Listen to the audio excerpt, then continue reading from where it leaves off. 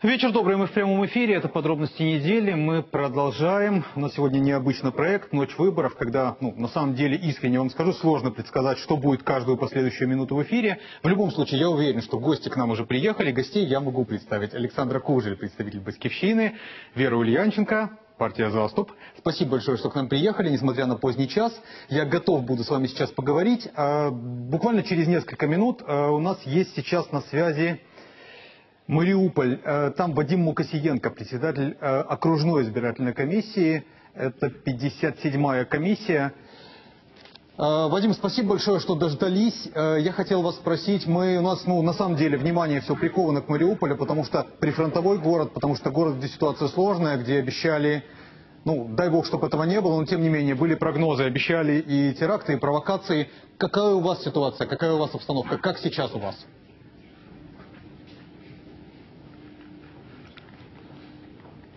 Добрый вечер, студия. Сейчас у нас спокойно. Ждем э, представителей э, участковых избирательных комиссий с итоговыми протоколами. Ну, начинался день не совсем спокойно. 8 часов утра по открытию открыли все 116 э, участковых комиссий, входящих в наш 57-й избирательный округ. Но были звонки из комиссии с восточной окраины города о начавшихся обстрелах. Ну, правда, потом или привыкли люди, или прекратились обстрелы. И пошла такая, ну, штатная работа. На данный момент э, цифры э, явки э, отправлены в ЦВК и идет обработка протокола участковой комиссии, подтверждающих эти цифры. А у вас есть вопрос, пожалуйста? А какая явка по Мариуполю? Какая явка по Мариуполю? Александр Кужин спрашивает вас, какая явка по Мариуполю? Э, какая явка, я слышу, да. Значит, я, я, я узнаю Александру Кужель.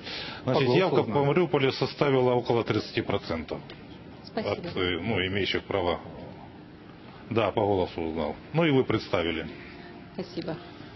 Спасибо большое, что были Около с нами на связи. 30% явка по Мариуполю. Ну, в этих ситуациях, в боевых ситуациях, в принципе, 30 это тоже хорошо. Спасибо большое. Давайте вернемся к разговору.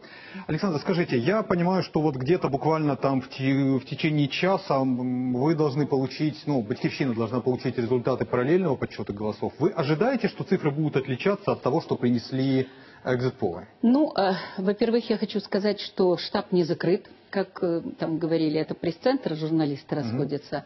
Э, штаб работает полностью, и все депутаты работают. И кроме этого, э, мы на связи постоянно со всеми областными организациями. У нас все депутаты закреплены по областям, мы прозваниваем до районов. Наверняка сейчас... вы знаете цифры, чего вы ждете? Ждете ли вы цифр отличных? На самом деле, чего мы ждем, да? Мы все, по-моему, вся страна ждет обновления власти ждет нового парламента.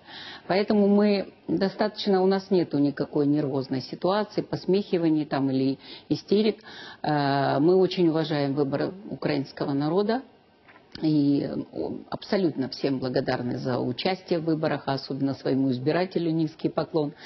И э, мы единственное ставим задачу каждый голос сохранить. Потому что одно дело проголосовать, а одно дело голосова, а голоса есть какие-то сохранить. попытки растащить Ну, сказать, голоса? что что-то резко изменилось от выборов, э, которые были раньше, невозможно. Ну, во-первых, первая отличительная черта, я не знаю, говорили у вас здесь или нет, наверное, за все выборы в парламент это самая низкая явка. И это надо признать, и это надо делать всем политикам выводы, насколько на, э, вот эта вот политика унижения парламента, и разочарование людей в той политике, которая пришла после Майдана, в общем, имеет достаточно серьезную ситуацию. Во-вторых, э, для себя команда Батькивщина ставила задачи и ставит одни и те же. Скажите, есть, вы в коалицию пойдете? Вот главный вопрос. Я, Люди нас Я смотрят. хочу сказать, что сегодня нету такого понимания коалиции. Вот разговора. Да? Во-первых, э, Есть я понимаю... портфели, которые вы наметили нет, для себя? Нет, мы все выборы декларировали одну единственную э, тему о том, что мы считаем, что коалиции нов, в новой демократической, которую так вот ну, ожидал и сделал украинский народ, не должно быть ни в коем случае квот и квотного портфеля разделения. Потому что, поверьте мне, как экономисту, э, ноябрь-декабрь январь и февраль э, потребуют от страны ну, достаточно грамотных, достаточно профессиональных действий. И поэтому Ивановна, мы простите, считаем, а просто что должны чтобы вы быть присоединились к профессионалы. разговору, а как вы видите коалицию? Э, Как долго это продлится? У вас -то тоже большой политический опыт. Вы понимаете приблизительно, вот как это все работает там, за кадром, в кулуарах? Е, Ви знаєте, мені здається, що тут треба е, зрозуміти такий варіант. Е, Коаліцію, звичайно, вимагають сьогодні громадяни України. Е, Ми Конституція проїхали. Да, ми проїхали взагалі-то ну, всі, абсолютно всі області України, от, е, п'ятірка партій заступ. І я вам хочу сказати, що люди е, просто вимагають уже злагоджених дій не конкуренцію один з одним за портфелі, за якісь амбіції і так далі. Люди вимагають єднання заради збереження України. Це раз, заради реформ це два. Заради змін і серйозних змін, не косметичних, не симуляції змін, не показовості якоїсь, а конкретних реальних дій. Я вам хочу сказати, що якщо цього не відбудеться, і парламент не може сформувати таку дійову, об'єднану, солідарну по відношенню до реформ, до цих змін коаліцію, у цього парламента не буде майбутнього. А что будет? Будет третий Майдан? Вот мы с гостями говорили Значить, сегодня. ви знаєте, дуже е, важко прогнозувати, що буде, але я точно знаю, що е, такої е, якогось е, ну, спокою е, владі громада не дасть. Позвольте, Це точно. я немножко Подождите, у нас поспорю. Оде- Да, одну секунду. У нас Одесса есть. Мы услышим сейчас, что там... Там наш корреспондент на связи, Андрей Анастасов, Нужно говорить мягко. Одесса. Одесса. Ну, я сам из Одессы, вы знаете, я все-таки разбираюсь, как о моем родном городе говорить. Спасибо за замечание. Андрей Анастасов Это я из с любовью Одессы. сказала. Да, Да. я тоже с любовью, спасибо. А, Андрей, как в Одессе выборы прошли? Что там? А, Потому что тревожная информация и разноречивая поступала.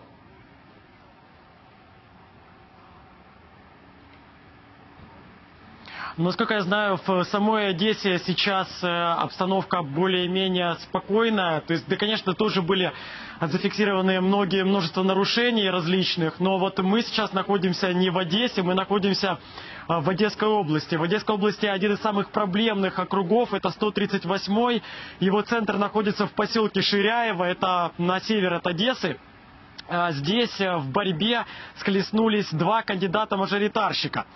А, э, У одного Ивана Фурсина, это действующий народный депутат от этого округа, у него высокая популярность среди местного населения, э, около 40%, а у второго, э, Игоря Учителя, это кандидат от власти, у него за спиной мощный админресурс и прочие рычаги влияния. В ходе предвыборной кампании учителя неоднократно ловили на подкупе избирателей. А, кроме того, а, местные чиновники также попадались на том, что агитировали явно и незаконно за его кандидатуру. И вот э, поэтому сейчас такое противостояние. Ловили также на этом, на незаконной агитации даже председателя Одесского облсовета. Чего уж говорить об обычных госслужащих, которые здесь в районах работают. Собрали их всех в районной администрации, потом по одному вызывали, давали такую взбучку, такую накрутку, что мало не показалось людям. И, естественно, провластного кандидата превозносили его выше небес и в то же время пускали кандидата самовыдвиженца в этом округе.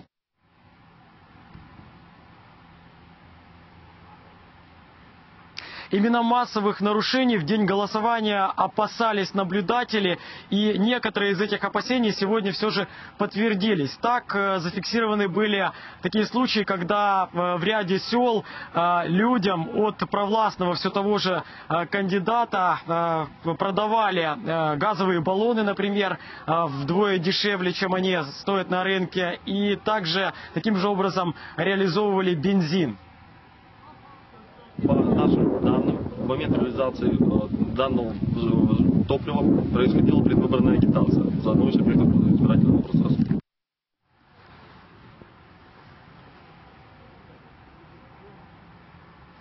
Кроме того, сегодня в, на 138 округе также многие, множество нарушений фиксировали международные наблюдатели из Польши и Соединенных Штатов Америки.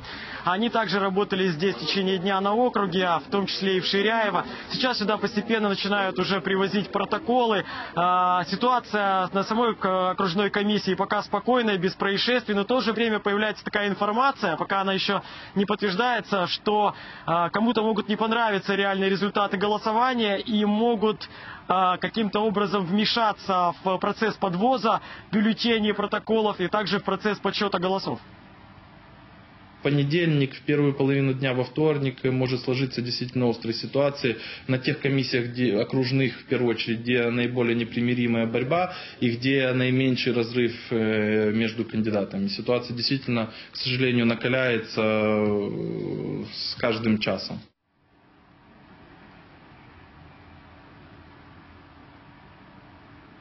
Поэтому мы остаемся здесь, будем дежурить, следить за ситуацией в протяжении всей ночи. Студия. Спасибо, Андрей Анастасов был с нами на связи из Одессы. Э, я должен принести свои извинения. Мне говорят режиссеры, что у нас два международных спутника висят. Мы вынуждены поговорить с нашими корреспондентами. Извините. Э, хорошо, хорошо. У нас, к сожалению, нет больше времени для того, чтобы поговорить. Еще раз извините. Э, Вера Ивановна, Александр, спасибо, что были в нашей студии. Спасибо. И есть реакция иностранных дипломатов на выборы в Украине. Посол США э, Джеффри Пайт заявил сегодня, имели честь наблюдать украинскую демократию в действии и поздравляем украинцев и ждем оценок наблюдателей.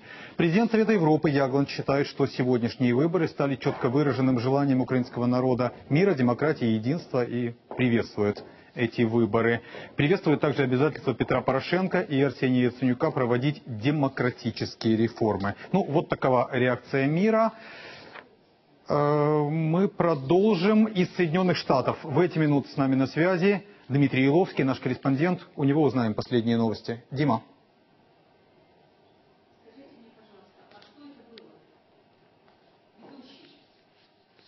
Дим, в Америке вообще всего четыре избирательных участка, но, пожалуй, самый главный находится здесь, в Вашингтоне. Кроме пункта для голосования, здесь есть еще и пункт для сбора помощи бойцам АТО. Подают сувениры с украинской символикой, полученные деньги потом отправят на родину, в Украину. Многие местные, конечно, с интересом останавливаются, спрашивают, что здесь происходит, но в целом, надо сказать, Америка во всех смыслах далека от Украины. В заголовках новостей тут по-прежнему Эбола, ну и еще промежуточные выборы в Сенат Америки. До них всего 10 дней. За Украину тут, конечно, в целом переживают, но вот за такими тонкостями внутренней политики как-то не очень следят.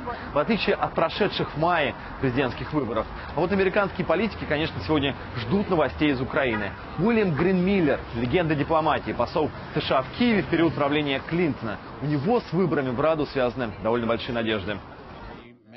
Надеюсь, что выборы будут свободными и честными. Это станет доказательством того, что Украина существует как нация. А еще это мандат правительству, которое сможет продолжать реформы и работать над украинским будущим. Взоры обитателей капиталистского холма сегодня также обращены на Украину. Парламентарии, надо сказать, и республиканцы, и демократы заинтересованы в том, чтобы выборы прошли в Украине э, демократично и прозрачно. Вот Госдеп на неделе заявил, что высоко оценивает усилия по подготовке выборов, а также готов продолжать помогать с реформами и антикоррупционной борьбой. Но вот пока что помощь только такая. Дима. Спасибо, Дмитрий Иловский с нами на связи из Вашингтона. И давайте сейчас послушаем, что говорят в Брюсселе, что говорят в столице европейской дипломатии. Там София Гордиенко. Софа, тебе слово.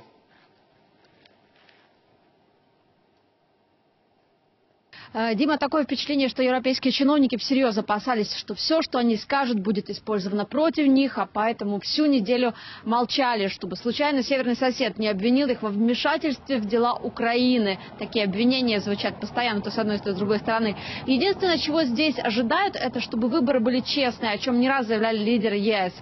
А, молчала, кстати, накануне и местная пресса, и вот только что я видела прямо сейчас по всем новостным агентствам «Молния» под заголовком «Украина Украина – чистая победа про западных сил.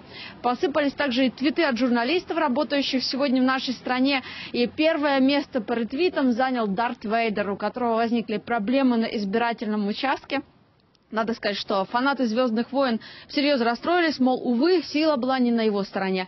Ну, а результаты экзит-полов здесь, на Западе, считают очень даже и очень обнадеживающими. Студия. София Гордиенко из Брюсселя. Вот такие новости. И дальше, если есть возможность, давайте с Британией поговорим. Э, что там на Туманном Альбионе? Ух, у нас есть Германия. Хорошо, тогда Татьяна Луганова, Берлин. Э, да, Дим, если сравнить эти парламентские выборы с президентскими, разница, конечно, есть, и она заметная. Первое, что бросилось в глаза в мае, когда голосовали за главу государства, здесь, возле посольства Украины в Берлине, практически весь день стояла длинная очередь. Сегодня, я бы сказала, ажиотаж был умеренным. Люди шли голосовать, но не так активно. Если же говорить о реакции Германии на сегодняшние выборы, то интерес к ним со стороны немцев вообще не сравнить. Если президентские были темой номер один и в прессе, и в телевизионных новостях, то о выборах парламента парламентских вспоминают скорее вскользь. Сегодня на первых полосах другое. Беспорядки на демонстрации в Кёльне и европейские банки, которые не прошли тест на финансовую устойчивость. Что пишут об Украине? В основном статьи шаблонные. Во всех попытках спрогнозировать результаты и, собственно, развитие ситуации после выборов. Чего ждут? Эффективных реформ и борьбы с коррупцией. Об этом пишут и журналисты, и открыто говорят политики. Результаты голосования они, конечно, будут комментировать и оценивать уже после официального оглашения, но Ангела Меркель еще в начале октября недвусмысленно заявила, она надеется, что после парламентских выборов украинские власти всерьез возьмутся за реформирование страны. И вряд ли канцлер изменила свое мнение. Э, Дима? Ну, вот такие новости из Берлина. Спасибо Татьяне Лугуновой. И есть у нас еще на связи Британия. Э, там Оксана Кундеренко. У нее тоже узнаем, что думают на Туманном Альбионе. Оксана.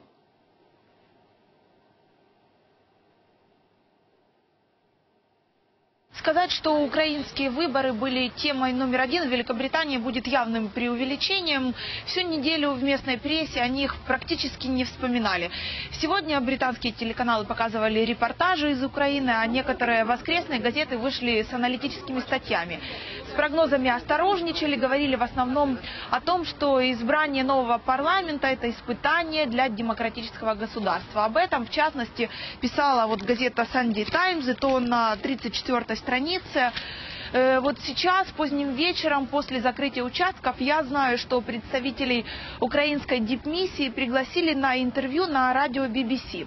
Остальные медиа, скорее всего, э, больше о выборах будут говорить завтра, когда появятся первые результаты. Ну а официальный Лондон сделал одно единственное заявление устами министра иностранных дел Филиппа Хаммонда и накануне голосования. Он приветствовал стремление украинских властей обеспечить право голоса наибольшим большему количеству избирателей, учитывая беженцев с Востока и аннексированного Крыма, и отметил, что прозрачность выборов отслеживают представители миссии ОБСЕ.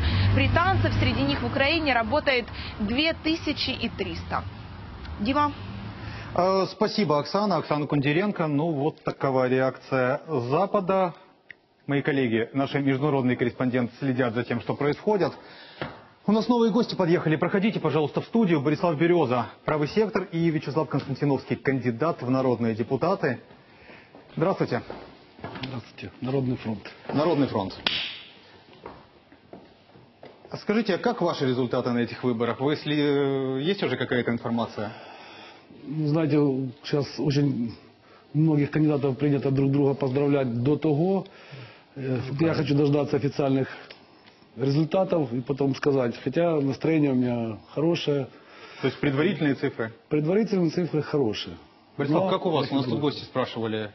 Про меня? До вас будет ли Береза, во-первых, да, и как у него результаты?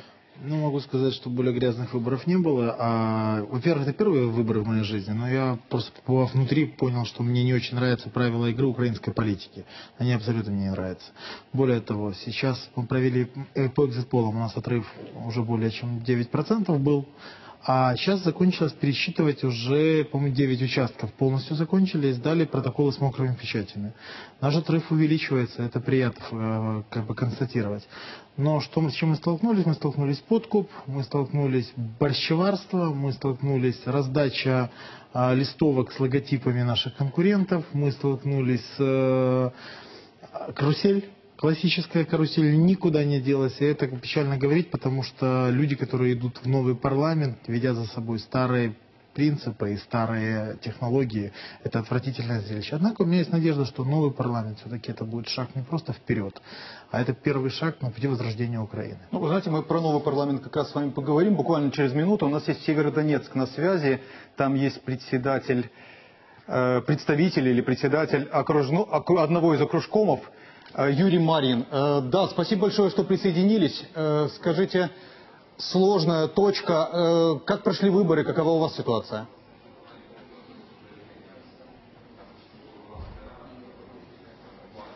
Ну, выборы прошли на достойном уровне. Правда, грязновато э, для города Северодонецка, который вообще-то поражался всегда очень ну, чистыми выборами и достойными. Особенно меня поразило то, что было давление на окружную комиссию. Наши фотографии были расклеены э, через границу в Брянке, Волчевске, Стаханове, где за нас предлагалось по 100 тысяч гривен или э, объявлялась смертная казнь. Поэтому э, вот это давление психологическое на окружную комиссию э, ну, оказало ну, такое, ну, кажется, маленькое, конечно, воздействие на наших членов комиссии, но оно э, ну, не очень хорошо отразилось на самой атмосфере выборов.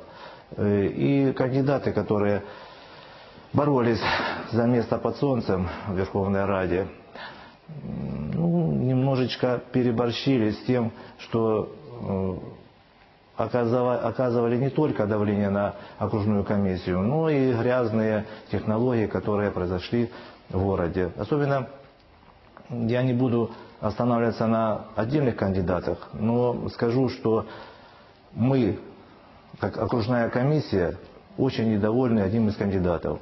Это Бакулев. Потому что грязные деньги и то, что он применял к нам, ну, конечно, ему не принесут пользы. Ну, а так выборы прошли в небе. Мы эм, примерно получили 23 668 голосов, это около 20%, ну чуть больше 20%.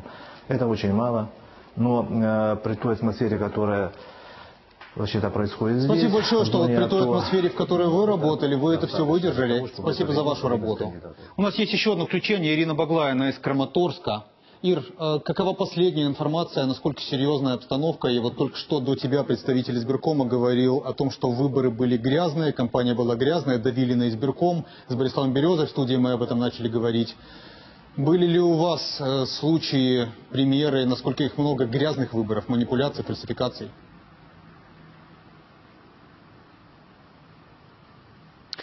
Да, Дим, ну в первую очередь скажу, что явка в Донецкой области составила почти 32%. Это нам сообщили в облгосадминистрации. В целом выборы в этом регионе, где они были возможны, прошли без инцидентов и нарушений. Сейчас идет подсчет голосов. О предварительных результатах комиссии пока не говорят. И вот поступила информация. В 59-м округе на одном из участков в Большой Новоселке члены избирательной комиссии отказываются подсчитывать голоса в присутствии наблюдателей. Об этом сообщают в Комитете избирателей Украины.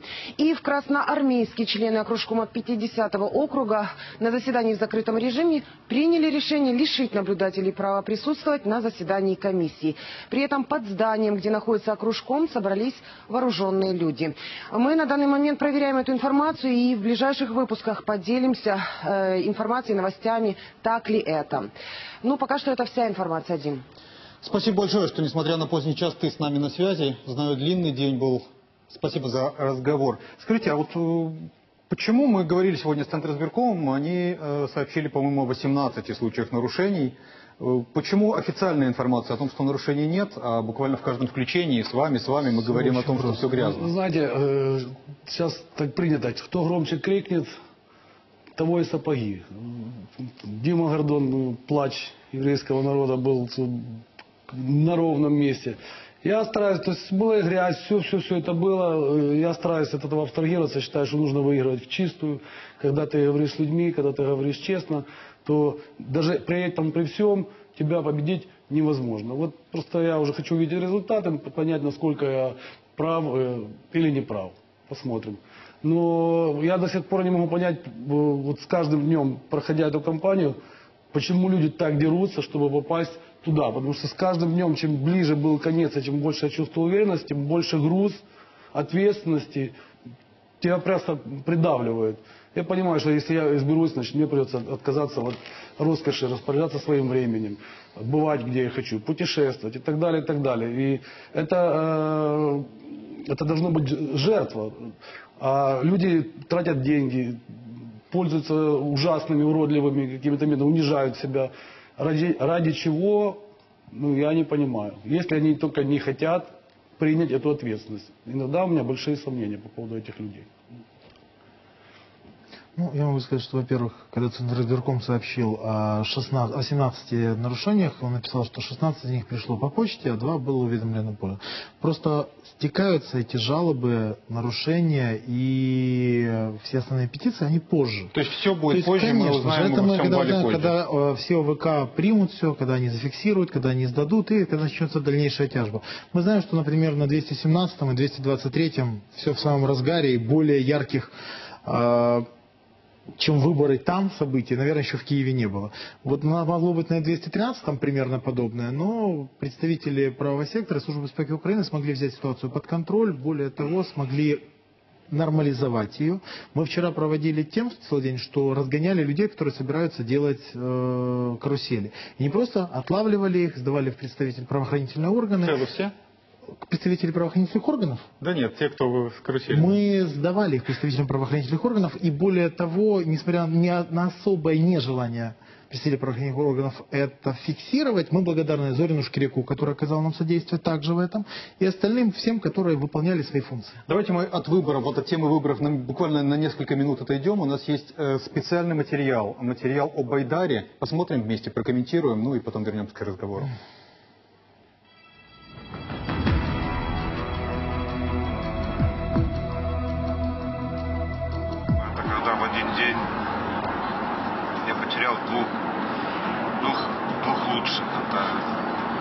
Чеха и Гуню, которые умерли у меня на руках. Когда я видел, как, как уходит, уходит, уходит жизнь из человека, когда сначала он сжал мою руку, и я чувствовал, как ослабевает этот жим, как меняется цвет кожи, как э, пошла какая-то непонятная дрожь по телу, тело обмякло. Я это все чувствовал, как все перед, передалось фактически автоматом на меня. Э, Как будто сам прошел это. Очень страшно.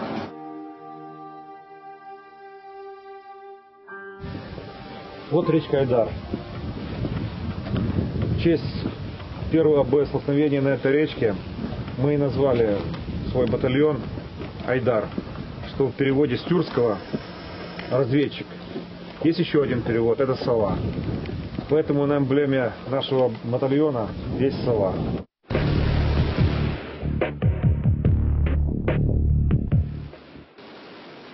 Ну вот даже слышно здесь стрельба идет. Скорее всего, с пулемета тяжело. Я думаю, наши проверяют. Я вам скажу відверто і чесно, мені страшно завжди. Кожен бій чи обстріл це можливість померти.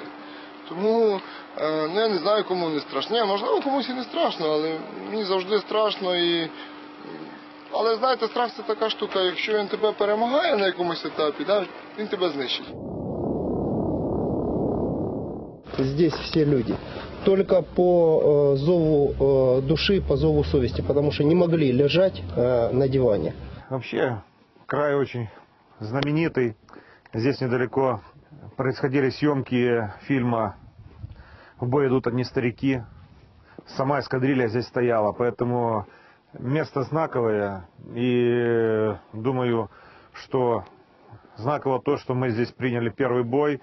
И нам это будет путеводной звездой. Во время вчерашнего обстрела вот, немножко мужик работяга наш пострадал. Слегонца досталось, правда, не столь смертельно, но все равно мужчину, как говорится, украшают старые шрамы. Это мужик, это трудяга. А в принципе как, у нас больше э, женские имена дают, ласковые, оружие планируют. ЗМ-23-2 это Зина у нас. Вот. Если пулемет ДШКМ, это Дашенька. Вот. Ну а мужик это трудяга. Мерин наш. Сейчас дело в том, что поступила корректировка на размещение. Ну, там товарищи ховаются, вполне вероятно, что склады и всякая такая гадость. Сейчас мы их отработаем с укрытия. Ну, а если будут хорошие взрывы, значит попали. Ну, а так, по крайней мере, хоть напугали.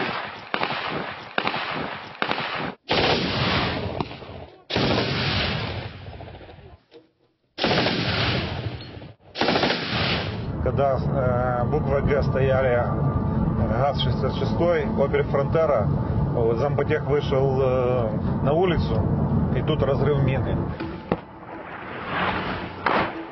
Что в 66-м, что в Опеле, ну, минимум по, две, по 200 осколков. Вот. У зампотеха э, посеченный полностью бронежилет. Вот. Его контузило, но на теле ни одной царапины нету. Вот это факт. Машина спасла жизнь. Колеса, правда, мы уже поменяли. Это она стояла возле 66-го. И основную массу осколков получила автомобиль. Можете посмотреть. Стекла, все покурочено. Ну, двигатель целый. Будем его восстанавливать. И останется как память. Он пойдет, пойдет в музей батальона как э, автомобили, которые участвовали в боях. Думаю, что если бы не добровольские батальоны, то товарищ Яценюк строил бы стену уже не здесь, а строил бы где-то в районе Киева.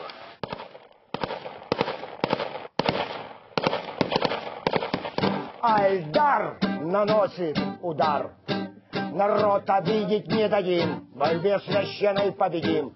Айдар наносит удар. Комбат, веди, с тобой не страшны беды. Труба небесной сотни протрубила в бой. Вновь по Крещатику пройдет парад победы. Победы над языческой ордой. Айдар наносит удар. Народной армии бойцы в и дети, и отцы. Мы украинцы, мы айдаровцы.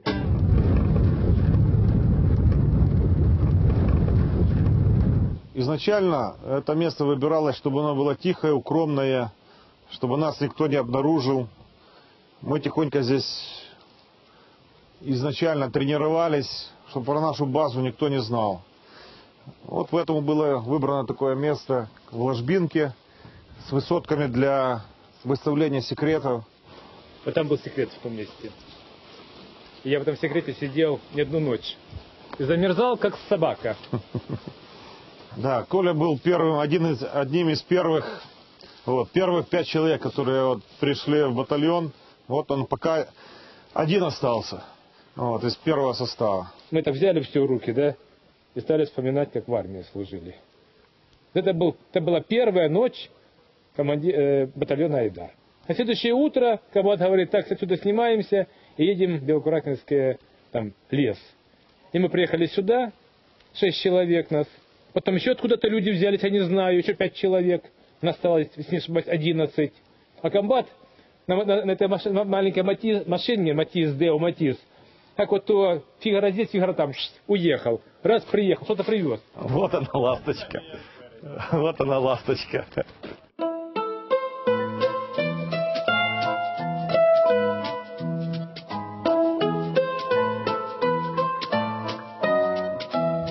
народ прикалывался с этой машиной, потому что это был вездеход. Он заезжал на любую точку, на горку, где мы там э, секреты стояли у нас. Вот так.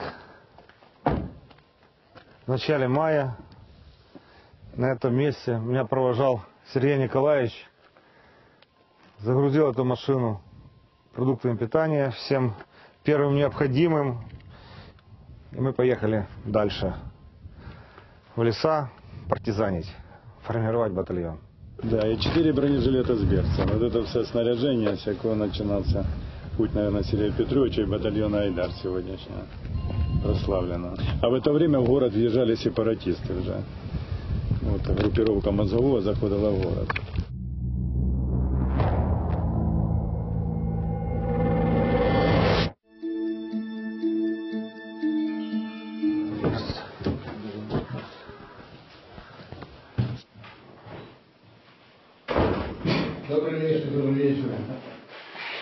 Знаменитая карта, видите? Да, по этой карте мы тогда С Сергеем Петровичем, да, разрабатывали план взятия города счастья. А это мы из космоса сделали, это мои разведники. Группа в составе 50 человек выдвинулась на автомобилях легковых. Перед городом все спешились. И все дальше весь город прошли пешком. То есть был взят э, сначала передние блокпосты их не были взяты. Вот, далее прошли по городу. Вот, э, на первом блокпосту было, были уничтожена группировка, основные инфраобъекты это мост и ТЭЦ. Вот, поэтому следующим э, маневром было отрезано им э, подход к ТЭЦ, чтобы они ничего не сделали. Ну и под самое утро уже был взят мост, э, включая, работала армейская авиация. Вот, э, это было все согласовано. То есть э, пехота не шла до тех пор, штурмовые отряды не шли до тех пор, пока не отработала э, штурмовая авиация. Отработала штурмовая авиация, за ней пошла пехота, которая взяла мост и отрезала, и не дала им взорвать его. Это основа была. Ви по щастю сволота палили. Міномет вас по щастю стріляв. Мене люд покалічили, вбили. І народ вас за це проклинав. Ви є виродки, ви не є люди. Чому л'єте безвинною кров? Цього вам ми не можемо забути. Будьте прокляті знову і знову. От такий віршик. Родился за Уралом. Значит, э, вырос э, под Одессой в Западной Украине э, рос. Учился в Харькове, преподавал в Харькове. Сложно сказать. Четыре языка. Откуда я? Здесь э, настоящая семья. Е, Такого коктейля з різних е, цікавих особистостей ви ні- не знайдете просто ніде.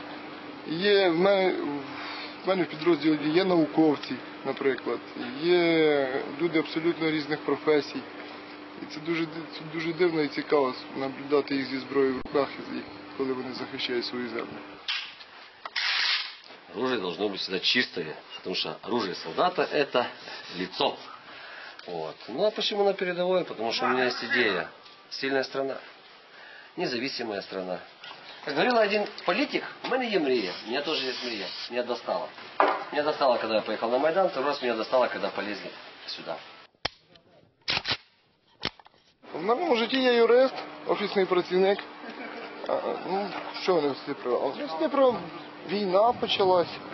Ось я вам хочу вам показати якраз. Ось місце потрапляння. А, гранати. Можна побачити. Ось можна побачити, що вона робить. Розлітаються осколки. Ось осколки. І вони наносять ушкодження. У меня, э, когда, когда это начинается чувство, что вот не надо того делать, э, у меня начинается какое-то непонятное чувство в теле, когда э, второй раз надо было э, брать Красный Яр и посадить туда 12 батальон. Мы не пошли, а послали разведку вечером. Нас тоже там ждали, уже по пути.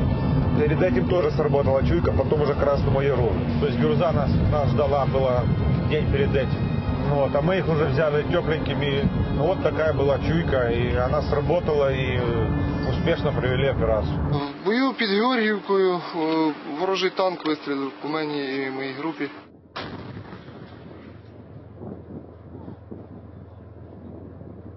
Там було багато поранених, багато загиблих, в тому числі я отримав осколкове поранення.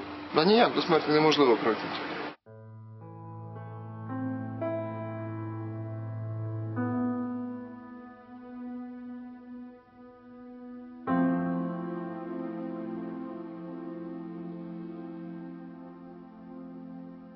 героям легендарного и неустрашимого батальона «Айдар».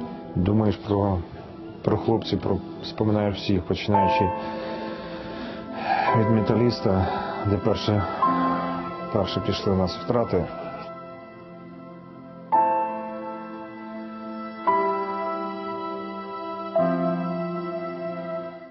Маємо собі батальйонну авіацію. П'ять польотів е, розвідки було. Був обстріляний десь більше десятка разів. Летається це дуже швидко. От. А от якщо вже механізми летять, то вже трошки гірше. Свої пілоти. От. Там обіцяли навіть, що в Мі-8 для перевезення поранених, евакуації поранених є спонсори, що готові подарувати з екіпажу. Ласточка. Вначале, когда только все начиналось, Надя Савченко, пуля. Вот. Надюшка, твоя лавочка ждет тебя. Перед боем на металлисте она пришла сюда и присела и говорит, вот я хочу купить, говорит, хорошие голландские сигары. И говорит, сесть здесь вечерком, когда рыбка плещется. Говорит, и закурить. Надюша, сигары есть, мы тебя ждем. Мы все делаем для того, чтобы ты быстрее вернулась. Життя варте чогось, як живеш. І не варто, якщо животієш.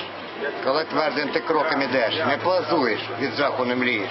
Коли долю свою робиш сам, коли серцем за неньку болієш, робиш те, що потрібно всім нам. І дивитися в очі всім смієш. Любой приказ, кроме приказа на отступление. Прежде всего хотелось бы при- передать привет сыночку моему Егору. Сына, если ты меня смотришь, если ты меня видишь, я знаю, что я в этой жизни тебе сделал много плохого, сын, прости. Жене своей хочу передать привет. Теще своей хочу передать привет. Всем тем ребятам, опять же, всем тем волонтерам белоцерковским, которые помогают мне. Да и вообще просто всем жителям Белой Церкви. Ребята, привет, мы живы. Я думаю, что в скором будущем мы будем все-таки дома.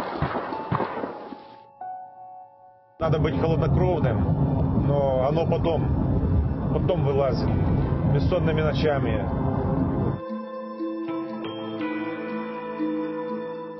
Криками, сединой.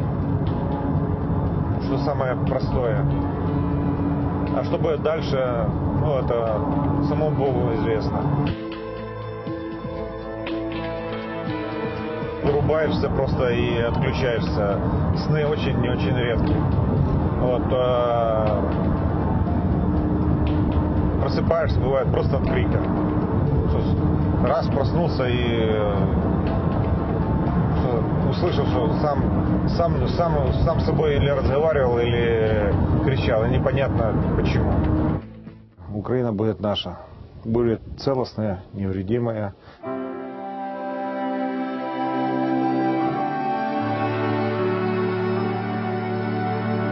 И кордоны ее будут неделимы. Мы вернем Донбасс. Мы вернем Донбасс обязательно. И, Донбасс Кры- и Крым вер- вернем. Для того мы взяли оружие в руки.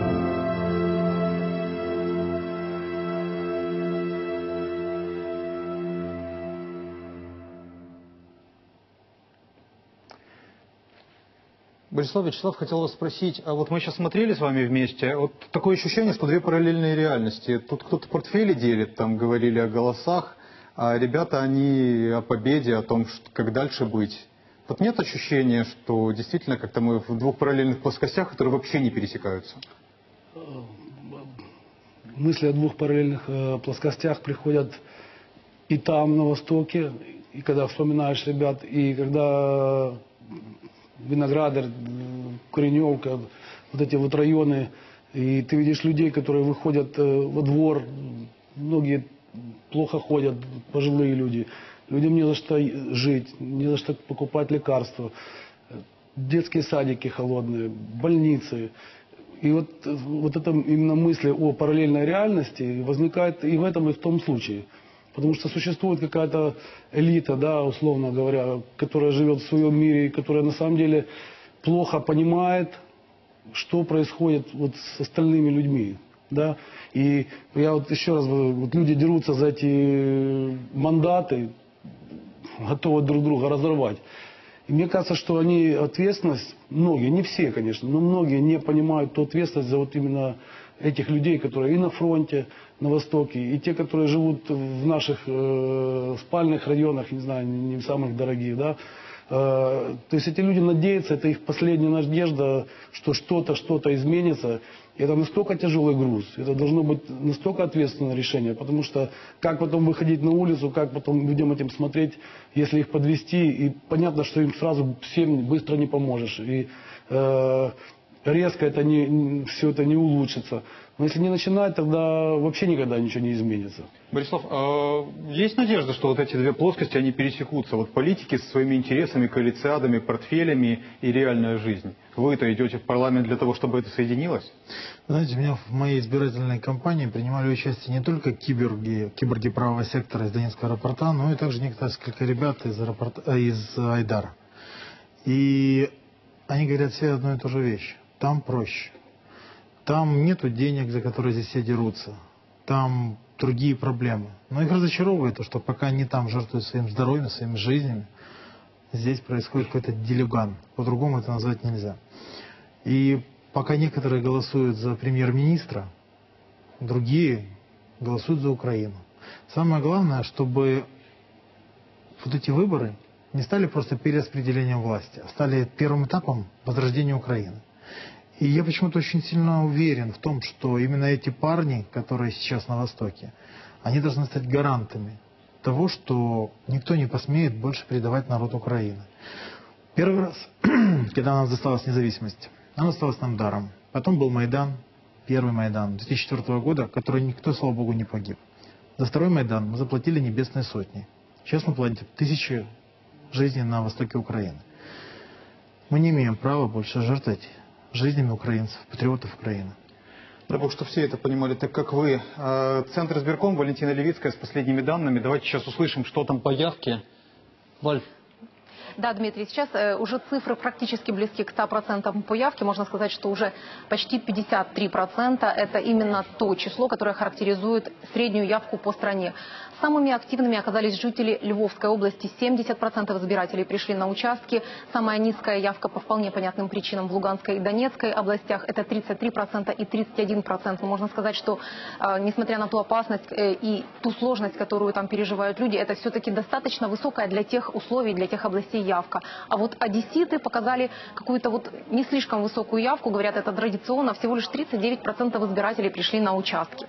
И вот Центр избирком начал получать уже первые результаты э, самого голосования, итогов голосования с зарубежных участков. И вот есть вот такой нюанс, очень, не, не очень приятный, я бы сказала. В Москве, где зарегистрировались 50 тысяч украинских избирателей, пришли выбирать новый парламент всего лишь полтора процента. Это чуть больше 800 человек. Вот такими оказались неактивными наши сограждане в Москве.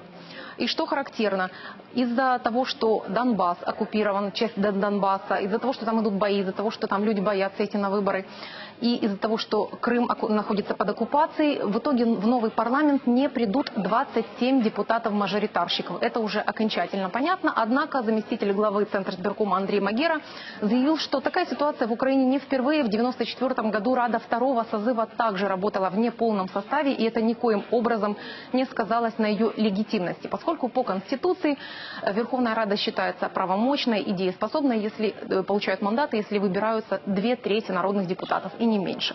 В нашем случае это именно так и будет. И поэтому можно сказать, что никаким образом отсутствие этих мажоритарщиков не повлияет на законность работы Верховной Рады. В Центр избиркоме продолжают э, получать информацию, обрабатывать. И уже, в принципе, для публичной активности э, здесь все брифинги закрыты. И будут уже первые новости уже завтра в 10 часов утра. Дмитрий? Спасибо. Ну вот такие новости из Центра избиркома. Знаете, у меня к вам последний вопрос. А не случится ли так, нет ли у вас опасения, что вы разочаруетесь и в политике, и в стране, когда столкнетесь с той реальностью, в которой вам предстоит прийти, работая в Верховной Раде? Вот если можно, коротко. Ну, взялся за гуш, не говори, что не идешь.